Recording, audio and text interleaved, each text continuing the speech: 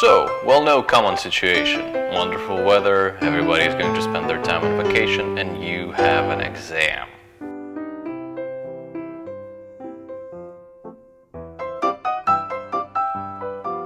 Time is up. So you're trying to do your best, but you cannot remember the correct answer. Everything is of no use.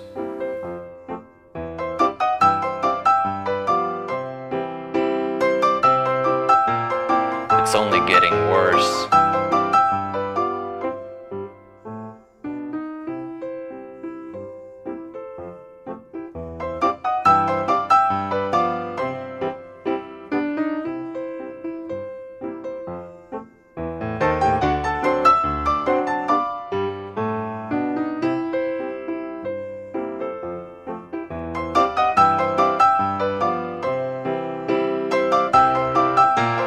Alcoholism, unemployment, and as a result, inglorious end. How can we avoid this? The student was reading books about memory, he was taking notes, he was listening to lectures, but nevertheless he could not pass his exam. Why?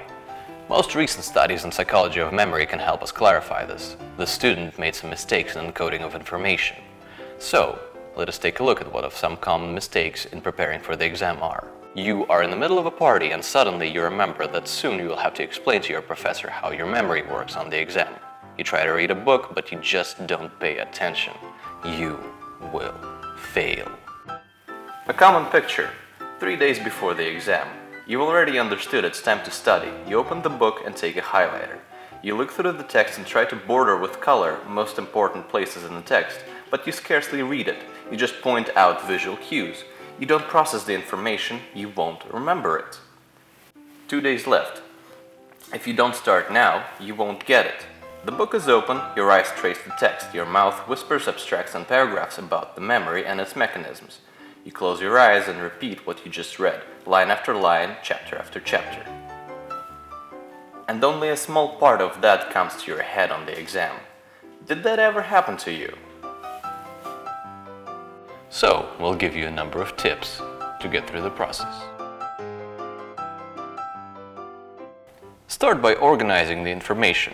You may use visual cues, but don't get carried away. Define structure. Point out the most important facts and draw its semantic relations with other facts. Make a scheme. And most importantly, imagine what it means to you personally and in what situations you can use it. I can see you're a very devoted student. Would you like to work at my laboratory?